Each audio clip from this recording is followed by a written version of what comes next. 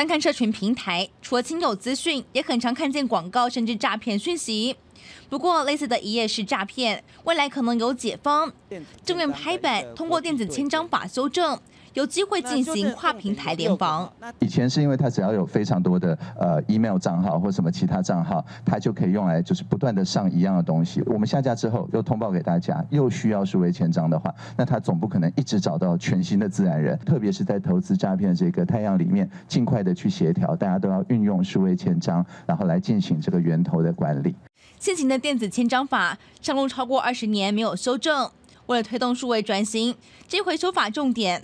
明定电子文件、电子签章等同实体签章，并明定了数位签章和电子签章的关系。而经过政府许可凭证机构所签发的数位签章，可以推定为本人亲签。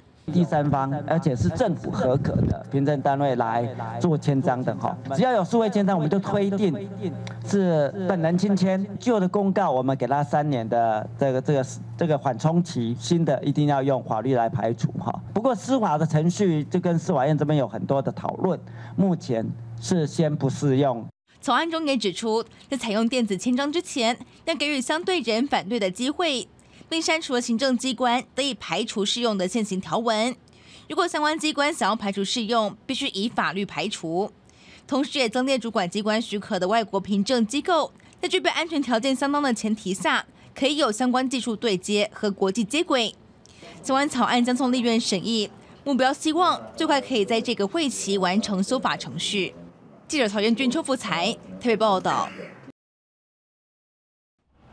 原本四年一次的医院评鉴，因为疫情的影响，拖到今年才公布。其中台北区的慈济、双河以及北区台大新竹分院，都在三月一号起开始晋升为医学中心。而医大癌医、亚大附医、土城医院、台大癌医中心分院，则是被动的从地区医院升格为区域医院。而唯一从区域医院降级为地区医院的是台南新楼麻豆医院。新楼医院来讲的话，它如果变成地区医院，当然它的部分负担会降低嘛，在地的民众就医，这个是有帮忙的，而且新楼它也承诺说它的医疗各方面的。设施啊，跟这个专科人力啊，都不会有任何的缩减。虽然对民众来说，部分医院晋升为医学中心或升格区域医院后，包括转诊制度、就医技术等信赖度都会提高，但荷包也会缩水，因为升等之后门诊费用调涨一百六十元或一百八十元，急诊涨更多，涨两百五十元或三百五十元。呃，生病的人又不是愿意自己生病的，所以这种应该。不能调整，薪水跟不上涨价的速度，小兵就诊所看一看就好。评鉴就是表示说，哎，他就有到达这样的标准了，而不是说评鉴那时候有那个标准而已，而是能够继续每天拿，继续维持下去，这要花的人力物力其实是。呃，是辛苦的。不过，台湾社区医院协会也提醒，在健保总额框架下，分级医疗又迟迟无法落实，严重扼杀了地区医院的生存空间。现在，地区医院的家数已经从健保开办之初的超过六百家，到现在家数几乎腰斩，有的甚至下转成诊所或结束营业。如果再放任恶化，地区医院更加视为影响偏乡民众的就医权益。记者吴瑶与张国良特别报道。争议多时的人工生殖法修法，卫福部国建署二十七号下午举办首场公听会，邀请专家学者及民间团体等代表出席发言，广征各界意见。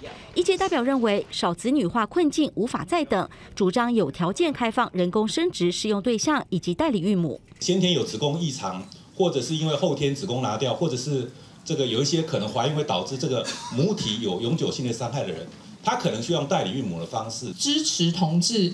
用人工生殖技术来生养自己的子女，这个支持度其实是有，呃，至少在女女的部分是有超过五成五的。由于目前人工生殖法仅限不孕夫妻，因此这次公听会讨论议题也包括是否开放与同婚配偶使用人工生殖技术，结婚与生育是否脱钩，开放给单身及同婚女性使用人工生殖，代理孕母的使用对象以及子女最佳利益等四大主题。反对代理孕母合法化，以免贫困的妇女。以他们出租自己的子宫来谋生。卫福部对于人工生殖法的一个修正案，哈，我们并没有任何的预设的立场。我们现在虚心的听听各方的意见。卫福部强调没有既定立场，民众如果对代理育母等修法议题有意见，也可以在国建署脸书留言，将列入修法参考。而第二场公听会预计三月份举办，至于未来如何修法，将由立法院决定。记者赖水明、蒋龙祥台报道。刚出生的小婴儿粉嫩又可爱，不过迎接新生命的同时，也得留意妈妈的身心状况，因为女性生产后很可能因为自身荷尔蒙改变，加上忙着喂奶、换尿布等，生活作息大乱，造成情绪低落、失眠、焦虑，甚至出现产后忧郁症。百分之三十到百分之五十的啊孕产妇，她会生完之后突然就会觉得，好像已经人生好像进入一个很奇怪的状态，她会压抑。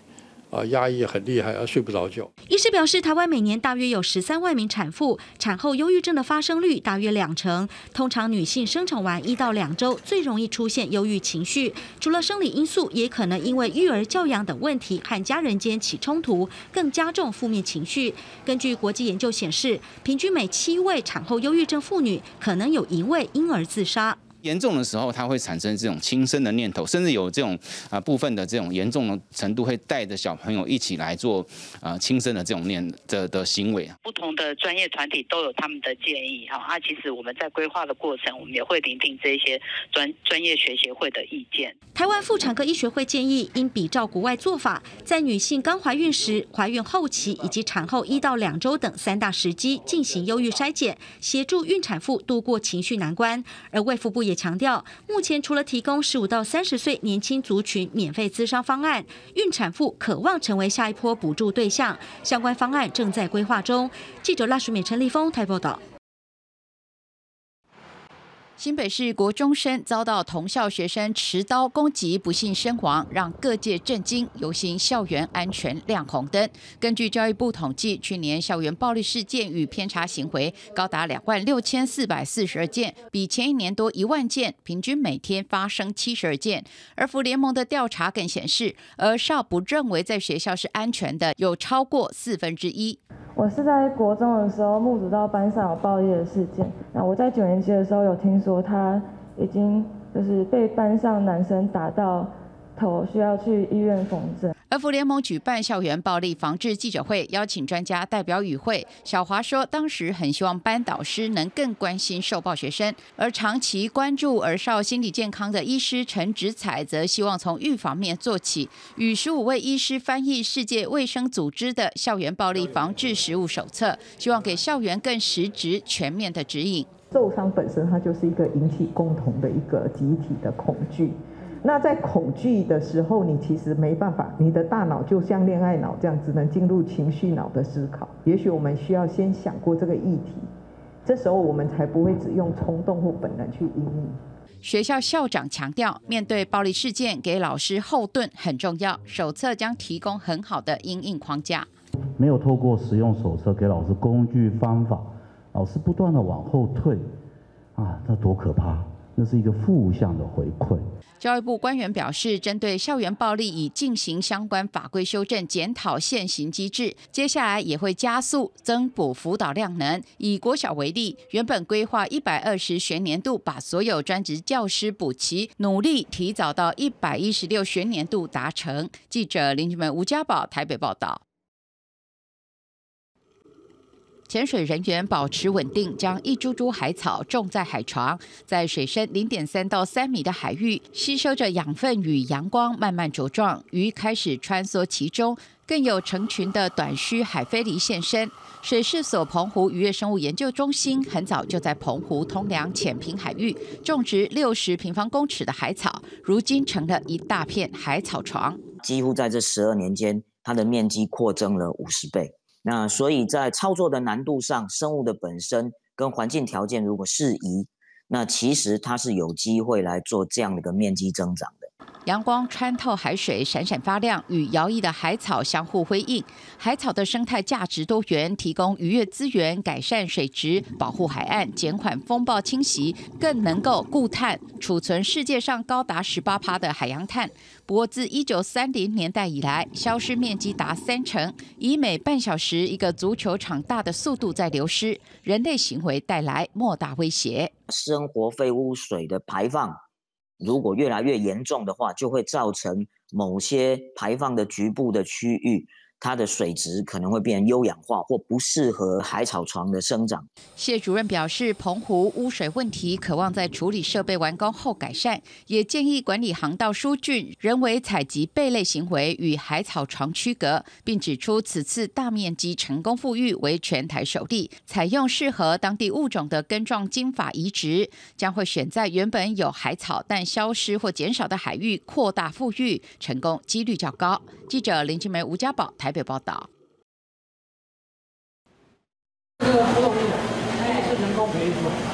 志工向民众说明水族箱中的就是全台首度人工繁殖培育成功出生河豚的六斑二齿豚。今年初，原本适育于海科馆朝进智能海洋馆的河豚无预警产卵，在研究人员细心照料下，将近两个月的时间，成功繁殖健康长大。在幼体候，它也很脆弱，如果一不小心水质有变化的话，也很可能集体就会染病。所以中间我们有一度因为冬天水温变化比较大，所以那时候我们有损失掉一批的小鱼。海科馆表示，六斑二齿豚又名刺龟、气球鱼等，体型为圆筒状，全身布满刺，遇到危险就会奋力吞水，膨胀身躯防御，模样十分可爱。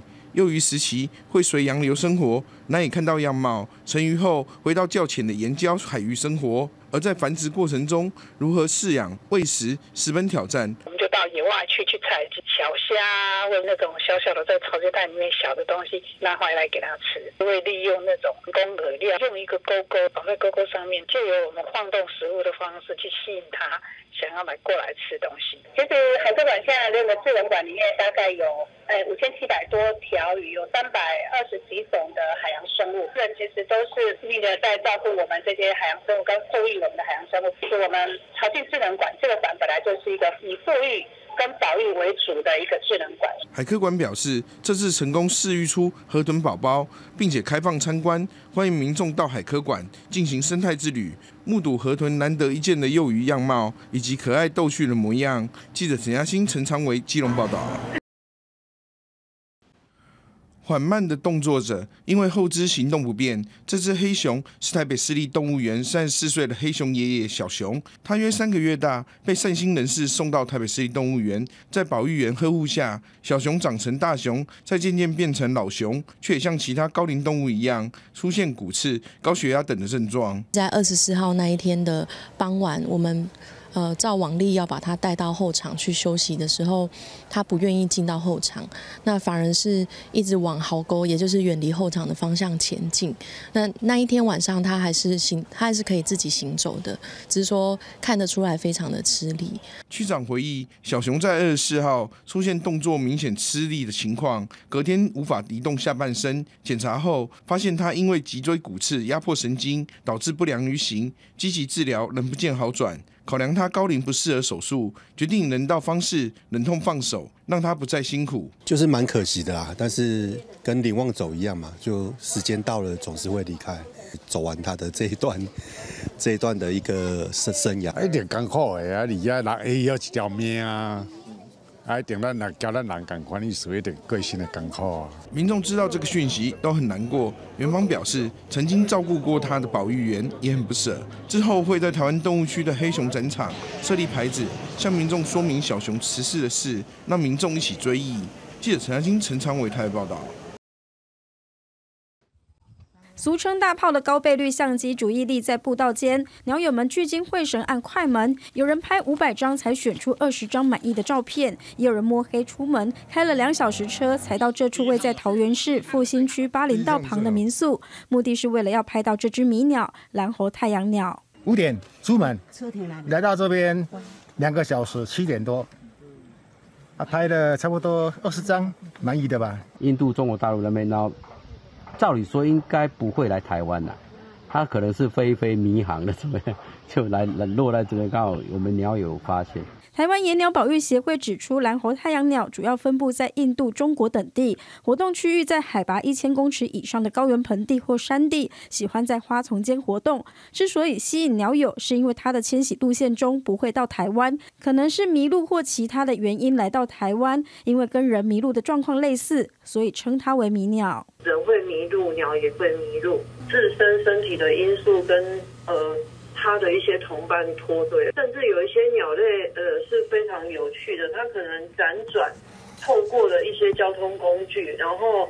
来到了一个它不可能会到的地方。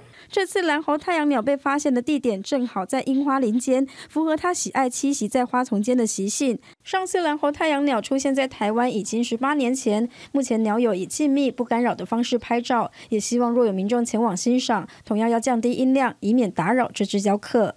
记者詹淑云、王若婷、许正俊桃园报道。台中市北区的进化北路路旁原本是行道树成荫，但最近民众发觉不少行道树被整棵砍掉，有的留下土堆，有的留下残根和满地的木屑，认为市府这样的做法太粗糙。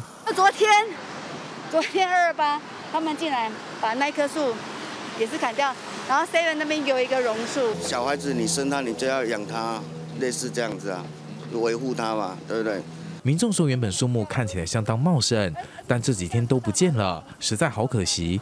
原来台中市府最近要进行进化北路的人行道改善工程，范围是由中清路到崇德路这一段，为了工程需要，才将不健康的乔木移除。确认健康状况不佳而且有安全疑虑的树木，为了避免日后倒伏或者是折干的情形发生，所以来办理移除。市府统计处理的五十五棵乔木中，大多是榕树。经过专家确认后提报，将不健康的四十三棵移除，剩余的十二棵则是移植，也会对移除的数量来补种。但护树团体认为，行道树的维护是需要透过长期的经营管理，才能够避免危害木的产生。所谓的不当修剪，包括断头式的修剪，其实最大的一个呃原因哈，就是说它造成了大面积的一个切面，然后伤口不容易愈合。这些树木的伤口不容易愈合，就容易产生这些包括真菌也好或其他的病虫害。蔡志豪表示，除了树种的选择，树穴的宽度和深度都会影响生长，尤其应该避免破坏性的不当修剪，才能减低危害木的机会，也省下移除后补种所付出的相关成本。记者林建生台中报道。迎宾柜上不同色彩的兰花，利用纳米科技渲染技术，呈现共襄盛举六十二个国家的国旗，成为展场一大亮点，也展现台湾园艺科技力。每三年举办一次的世界兰展，二零二四年在台南登场，也是七十年来首度来台。正逢台湾国际兰展，两个兰展同时举办，成为台湾历史上的创举。国际蓝展，我们以产业的核心价值跟生活的应用来规划我们这一次国际蓝展的主题，因为它本身比较强调的是我们对环境的保育、对兰花研究的发表，哦，对品种竞赛这方面的延伸，也让世界知道我们台湾对这一块土地、对原生兰在这在这部分多年的这方面努力的成果。两大盛事联展以婆娑之兰、舞动世界为主题，各具特色。而外销平创佳绩的台湾兰花，去年兰展订单突破百亿元，今年两大展带动加持下，预期超越去年成绩。前几年的一个那一个疫情的关系哦，或者俄乌战争影响能源上的成本，但这一部元素呢，其实也相对的渐渐的也比较趋缓。我们所有的那一个整个营造出来的水平跟销售的普人，其实现在呢，其实也很好转。欣赏纯纯粹是欣赏，数量好像比较少。今年安排的这个路线可以的，不要不会不会拥挤拥挤啊。世界蓝展在大台南会展中心展出，而台湾国际蓝展则是在后壁农业科技园区兰花园区展出。从二月二十四开始，为期十六天，结合二零二四台湾灯会在台南，展现台南深厚的文化底蕴和多元的城市景致。记者文正恒谈报道。透过三年前的空拍画面，看到紧邻台十七线滨海公路旁的大片水域，多部怪手正在进行填土。直到现在，渔电厂矗立，目前附近也有三处渔电厂施工当中，还有多处鱼温也被填平。环团认为，破坏环境、成就鱼电厂不是正确的选择。如果你把原来的碳汇都切断了，然后再来做所谓的绿能发电，其实这个好像不太对哈。但是我们看到的是，大面积水域本来有。滞洪功能有防灾功能有碳汇功能，你应该要养鱼的鱼温，现在却变成了光电厂，而且是填起来。这个地点靠近滨海公路，周遭还有红树林，四公里长的美丽黄金海岸，也是多种鸟类栖地，在高发展的城市当中是难得一见的景致。环团忧心未来鱼电持续增加，冲击生态，美景不在。对此，也有议员将提案发起不再核准渔电案。呃，绿能案件哦，于军发局申请后，涉及农渔业容许的部分哦，农业局将会依相关规定来落实，严格来审查。希望就像台六十一线决议一样，以西为生态乐区，不能设置光电。不过，台南市经发局说，会要求业者将环团与民众的需求纳入计划，在临近社区处做好隔离与防护规划，严格审查。记者郑恒台报道。汽车来到长兴街口，准备左转沿海一路，却直直撞上斑马线旁的行人庇护岛。事发在二十七号高雄小港区，汽车车头全撞烂了。左转沿海一路南向行驶时，疑似为行至路口中心处提早左切，导致其不慎撞上行人庇护岛，造成其手部受伤。这并非单一事件，十五号也有汽车驾驶因疏忽撞上同一个庇护岛。回到事故现场，二十九号上午，沿海一路车流量不小，且大车不断，让民众过马路提心吊胆。为提升行人安全，高市府去年十二月底在其中两路口设置庇护岛，但民众觉得效果不佳。没有，怎么说呢？因为还是有车会往那边过去啊。庇护岛上的反光导标被撞歪。据统计，两处庇护岛设置才两个多月，合计已被汽车撞上七次，引发外界讨论。交通局表示，原因在于驾驶习惯不良。最主要都是呃，驾驶人可能有酒驾。